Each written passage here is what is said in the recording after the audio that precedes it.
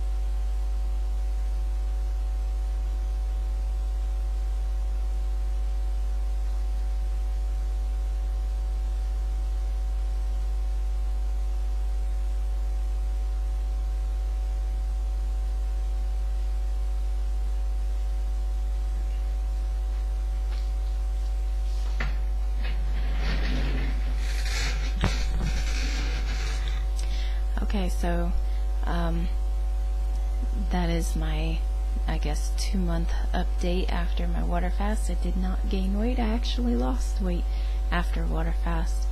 Um, the reason why I'm not going to be going on 80-10-10 is because for my body, for some reason, I don't know if it's because I have dumping syndrome or not, I cannot eat sugar in really any form. I can eat moderate amounts of fruit, but as soon as I start to eat fruit, I seriously gain weight, so I can't do it.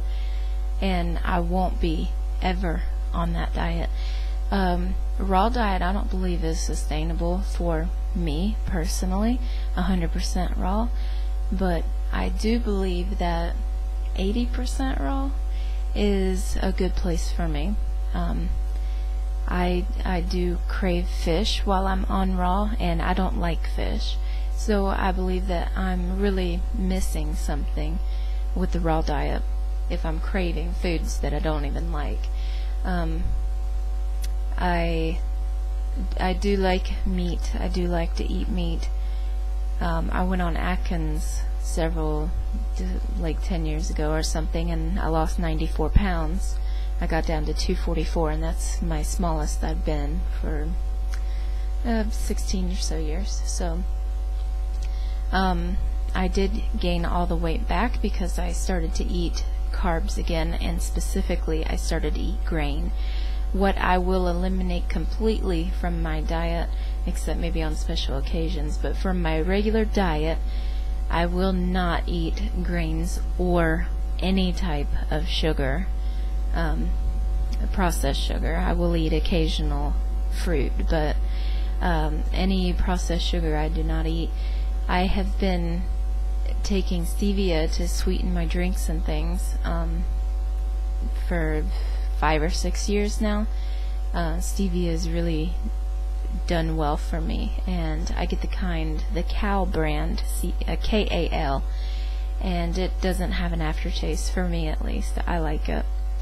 Um, and a big $25 bottle lasts me for over a year, so it's well worth it. And it's actually cheaper than sugar because a lot of people buy sugar in huge quantities. So it's uh, more portable than sugar. You can put it in your purse and you know take it around with you and sweeten your drinks with it, in restaurants and things.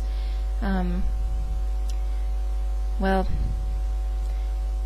uh, let's just see how long I go on this fast. Um, but this is what I want to do. Uh, I want to do another fast, even though I know it's going to take a lot out of me and make me tired.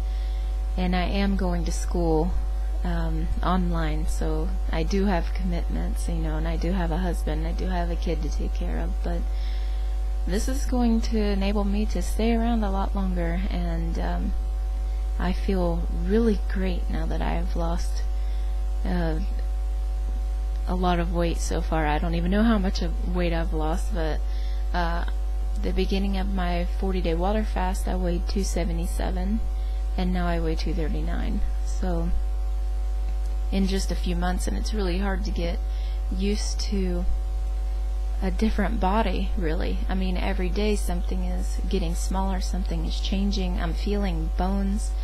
It actually hurts uh, when people touch my ribs and people like hug me. It hurts because I've I've not felt those bones for uh, 20 years probably. And well, you know, I'm I'm 33, so that's pretty pathetic. But uh, yeah, um, I have the opportunity to go on this fast and actually get down to a normal weight and be like a normal sized person and I've I've not had that chance to do that. I've not felt that I've been able to do that.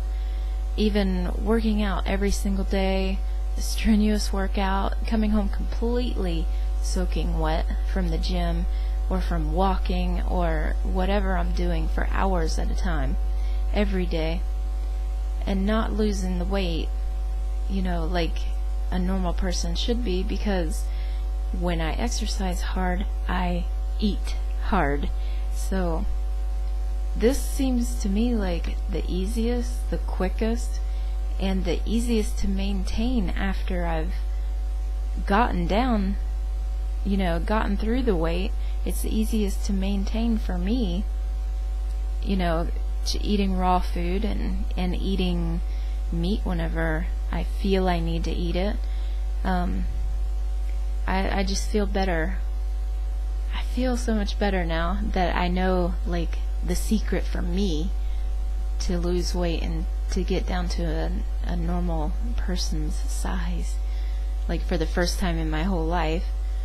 Um, so, um, I'll probably update, like, once a week or so. I'm probably going to be extremely tired. Starting this tomorrow. Um, not today, but I'm starting tomorrow, and we'll see how long it goes. And thank you, people who have sent me emails and and supporting me. It's really helped a lot. So thank you.